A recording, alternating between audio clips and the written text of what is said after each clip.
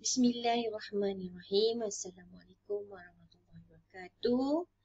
Um, very good day to all my students here. Welcome back to our new semester. And we would like to stay, uh, start our class with the first uh, topic, which is an introduction for our subject, business communication. Right? So first thing first, let us discuss about the definition of communication.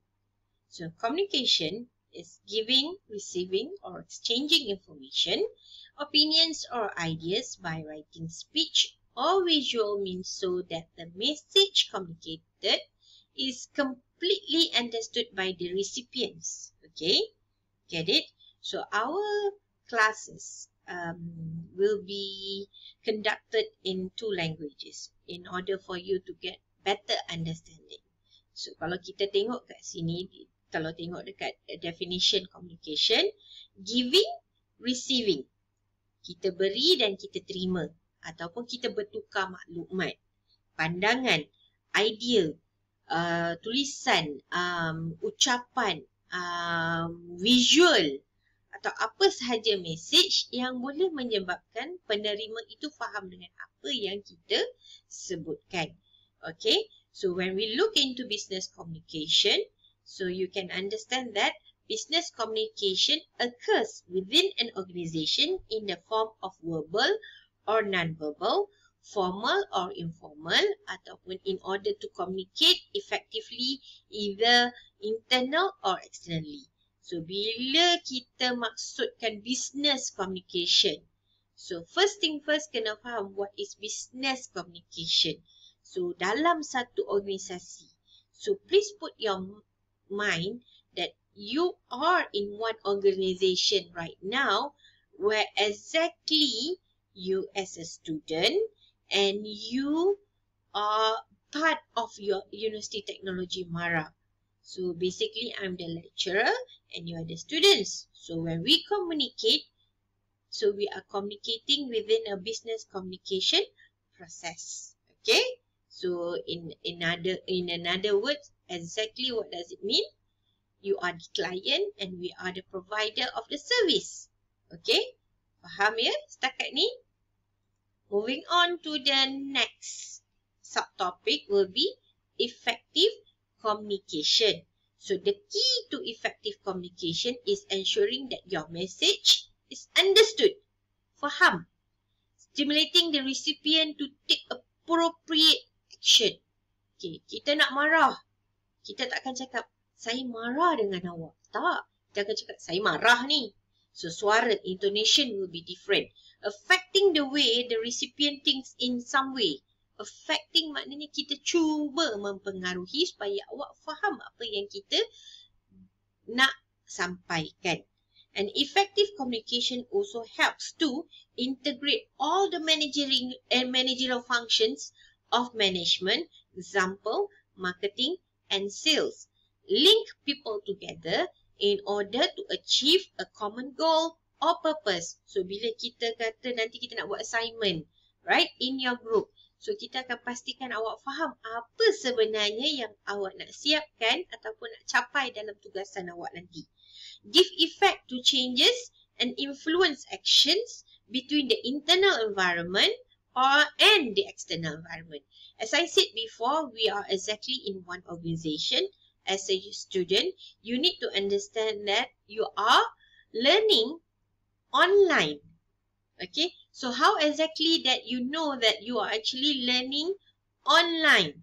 Okay, so based on the information given, based on the email, based on the WhatsApp, based on any medium that has been uh, given you some information, valuable information on how you want to start your semester with. Okay, so whether the information is effective or not based on how the information has been given to you and how you perceive the information. Okay, faham setakat ni? So moving on to another subtopic, factors that contribute to effective communication will be the management will foster an open communication climate.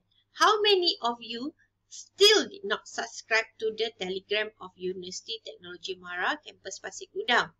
How many of you? So think back, what have you done in order to ensure that you will be getting the latest information of the organization?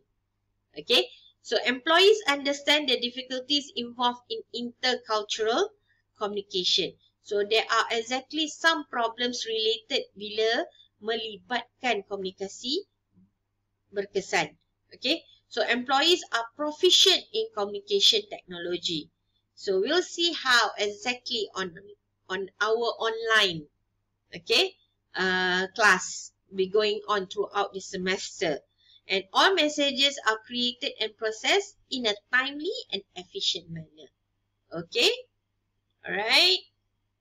Okay, moving on to the next slide.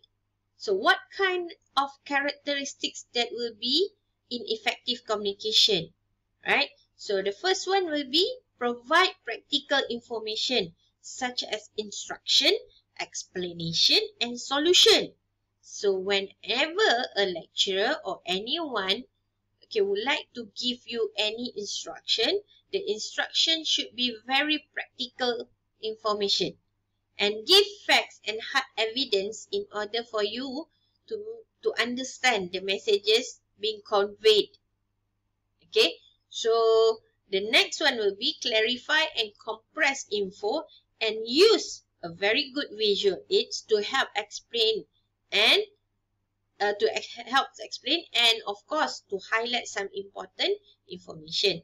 The next one will be to state precisely what kind of responsibilities that you need to uh, to force yourself to uh, process with all the informations be given in order to achieve your goals. Okay. And last one will be to persuade others and of course offer some recommendations. That will be the basic of characteristics of an effective communication. Okay. So what will you get when you are actually influencing some effective communication?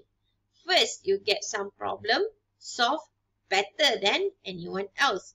And you'll be getting a very good decision uh, in the process of getting some information.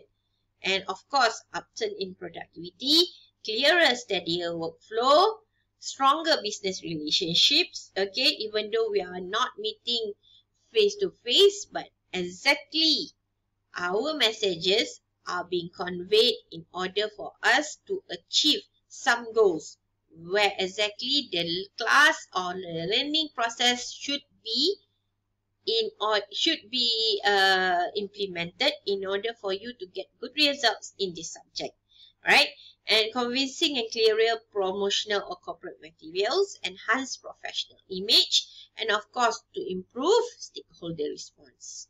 Okay, how exactly the communication in changing workplace? Okay, we will look upon all these factors, but first we will look to method of communication. There are two methods of communication. Ada internal communication, ada external communication and both ada oral, ada written. Okay. So, choosing the channel of communication. Those were the days WhatsApp is not a formal medium. Betul tak? Okay. Uh, WhatsApp is just for fun. But nowadays, WhatsApp is one of the medium to convey all the messages to convey the information and to make sure that you can get the information as soon as possible. So, bila kita nak pilih saluran untuk berkomunikasi ni, kita akan tengok kos, kita akan tengok pengaruhnya, kita akan tengok masa, right? Kita akan tengok uh, dari segi security, okay? Uh, daripada segi privacy, orang kata kes, uh, kesegeraan informasi itu sampai pada awak, sumber yang ada, siapa penerima, uh, distance-nya macam mana, written record ada tak kesan orang kata dokumentasi, semua benda tu kita kena tengok. Okay?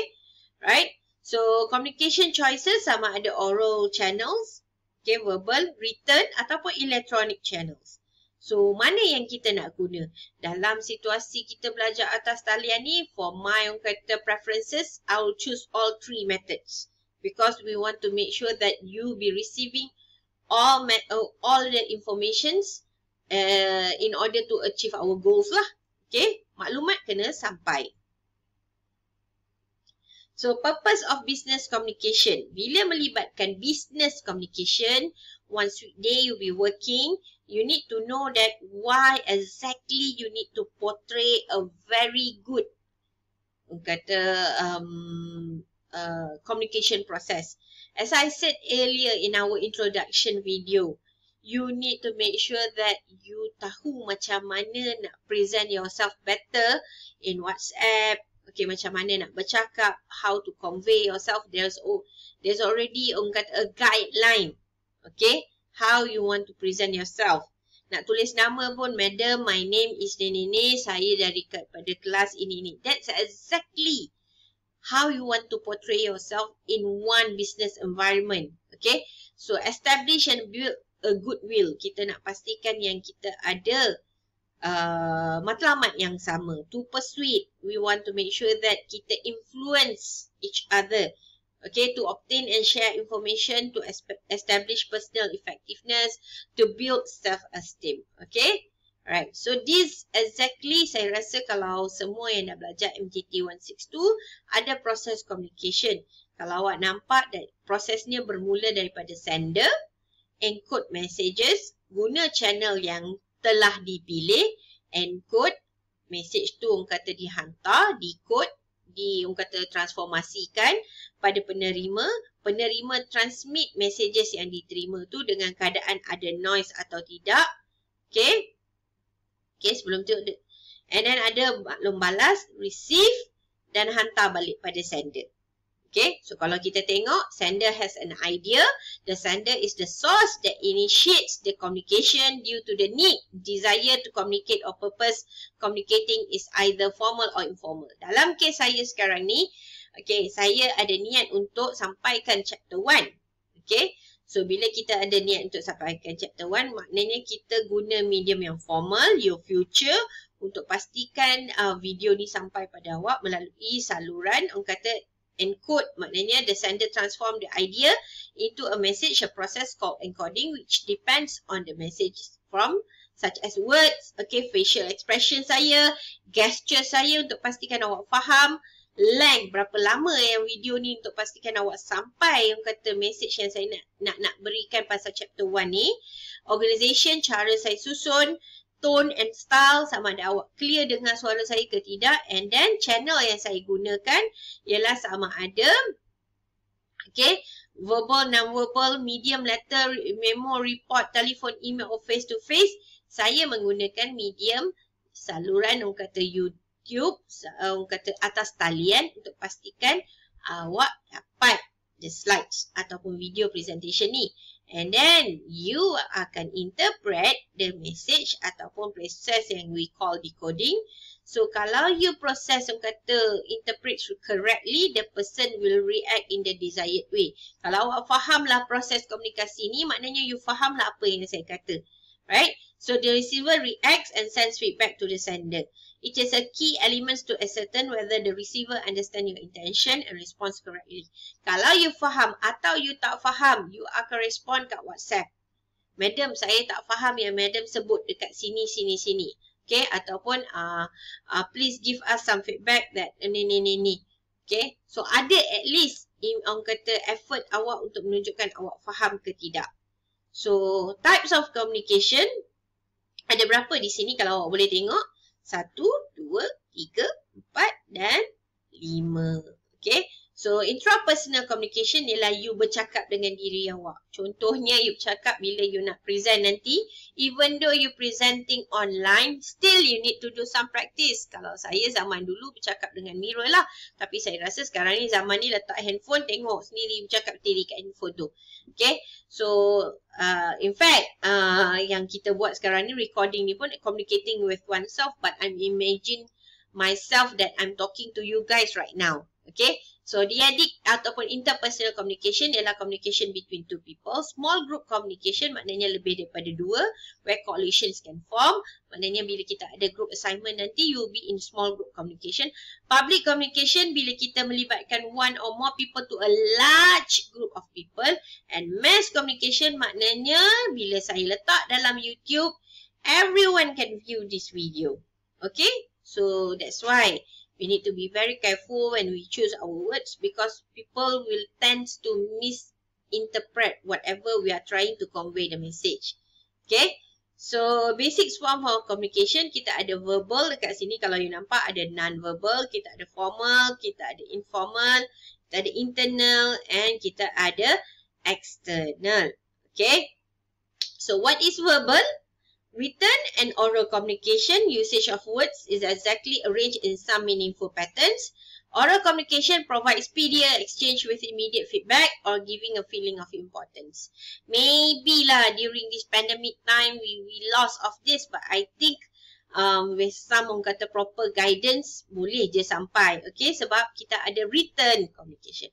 Non-verbal most basic form of communication communication without speaking interpersonal process of sending and receiving message without using written or spoken language. Contohnya bila nak tengok muka awak monyok bila kita buat Google Meet nanti ataupun Webex nanti kita akan nampak how exactly you're portraying yourself throughout the medium dengan berkerut muka ke, dengan muka mata tersengguk ke. Um, such on kata things that you portray yourself lah.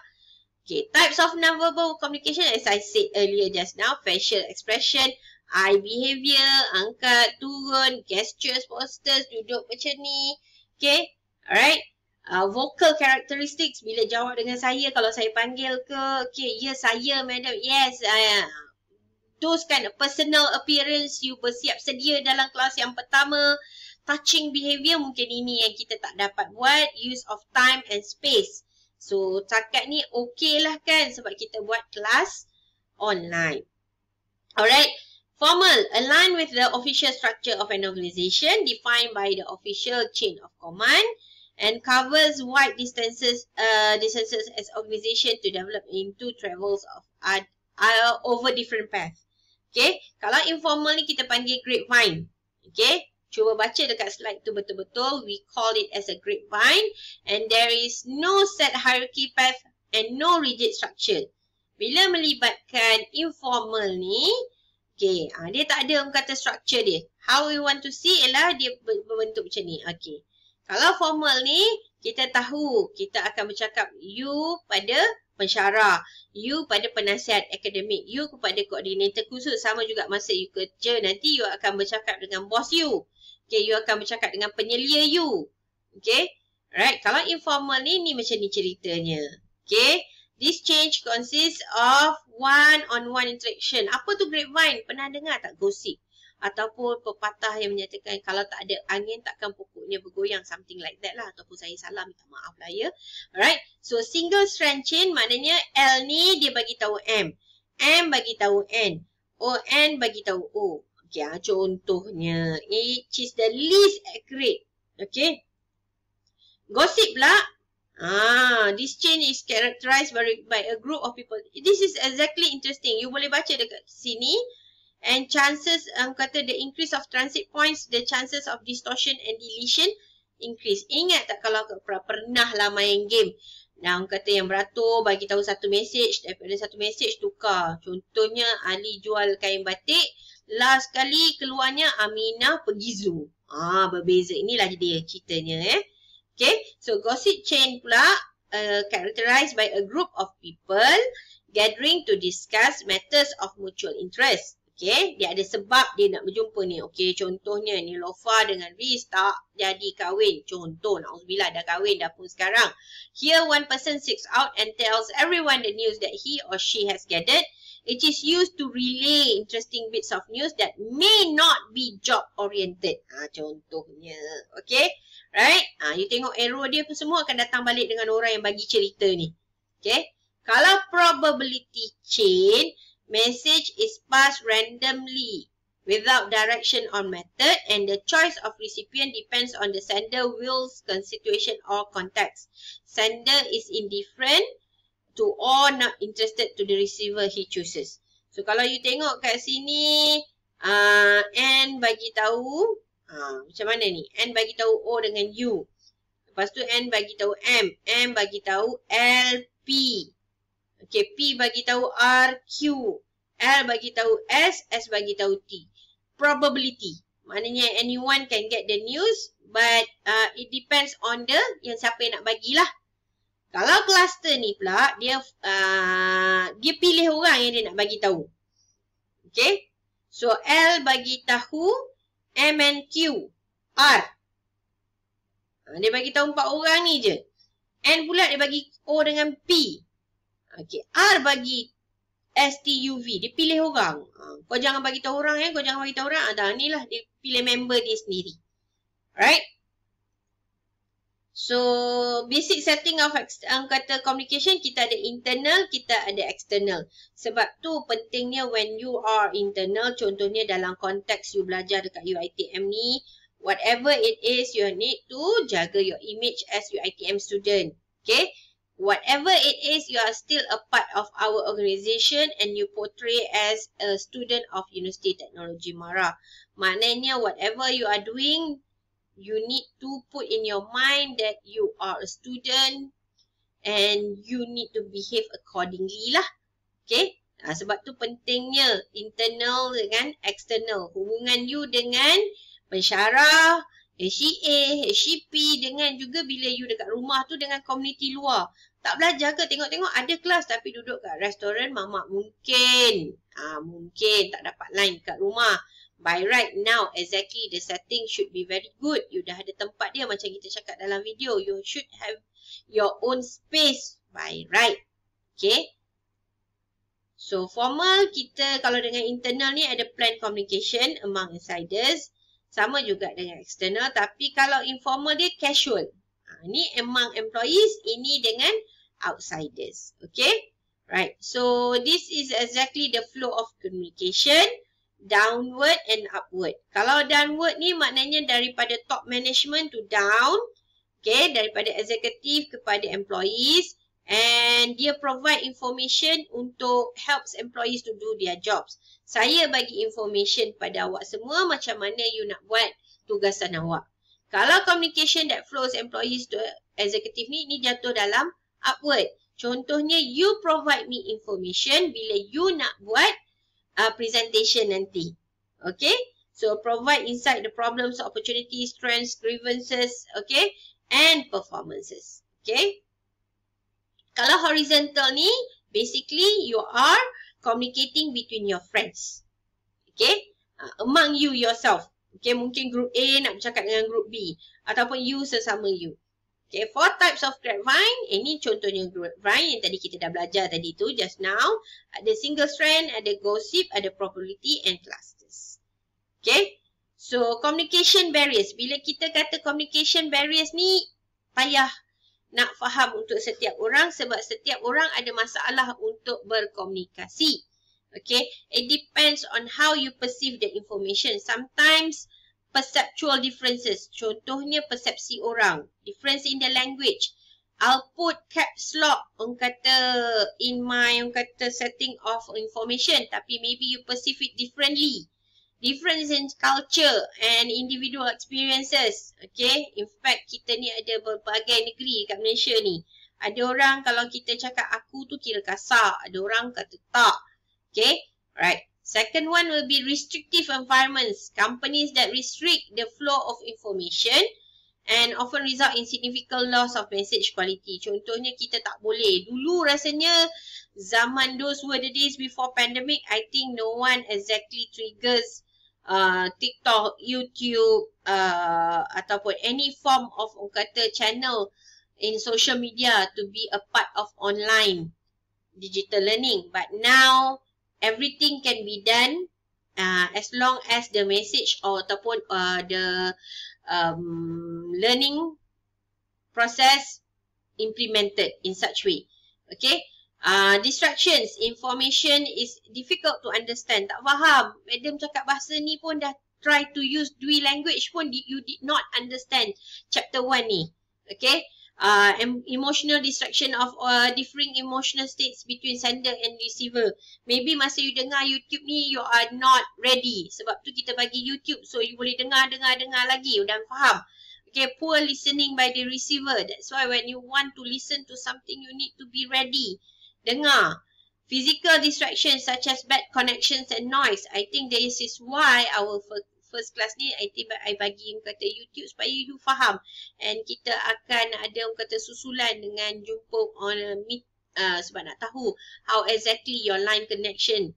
And deceptive tactic tactics to mislead message. Ada orang kata contohnya kalau kita nak kata deceptive tactics ni rasanya Lazada tengah buat promotion. Orang kata hebat. Shopee tengah buat promotion hebat tapi sebenarnya bukan promotion hebat every month ada promotion sebenarnya So that kind of tactics to mislead messages lah. Okay. So how to overcome barriers? You know that exactly your words ataupun your uh, voices cannot be heard. Right? Suara you tak jelas. Suara you kulum. Kalau kita ni jumpa face to face ni, saya suruh buka mulut. Ah, buka. Buka. Senyum. Okay, sebab kita nak pastikan all this bergerak. Okay. So when you know that you are actually having problems to speak out, okay, how to overcome barriers too, okay. So you take communication courses to improve communication skills. Ambil je sekarang ni banyak je orang kata online courses yang free. Learn about receivers, bias, education, age, social status, style and point of view. Ramai orang bila bercakap ataupun menulis di social media ni tidak fikir banyak kali bila nak tulis. Tak fikir pun who's, whoever is gonna read your messages, whoever gonna see your videos, adakah orang tu akan terasa bahasa yang awak sebut tu akan kata mendatangkan racist ataupun bias ke? So all this you need to learn. Bila you nak buat presentation, sekejap-sekejap guna aku, sekejap-sekejap guna kami, us.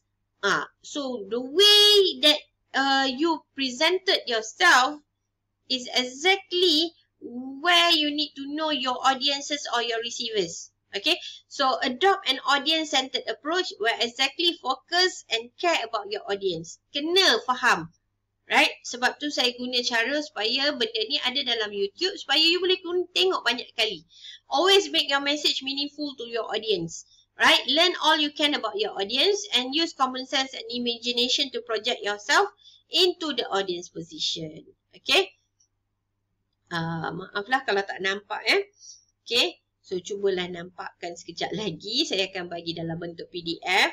So first thing first ialah encourage an open communication climate. Less communication chain. Ha, maknanya kita nak pastikan bila benda ni jadi ialah um, if your environment in your house didn't allow you to speak in English because so many yang kata complaints ataupun um, you are getting some harsh uh, um, messages oh kau ni sengaja je nak cakap bahasa Inggeris nak tunjuk lah tu. No need no need okay? So yang penting you cuba okay bila you bercakap dengan kawan awak bagi response eh, exactly I don't like to hear this or exactly I would like you to give some kata uh, to show some responsibilities in our assignment.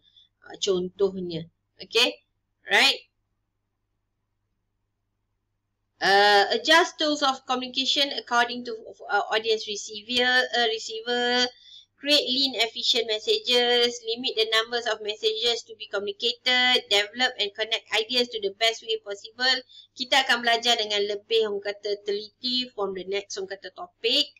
Okay, so that's it for today. InsyaAllah, um, I'll be getting back some feedback from you.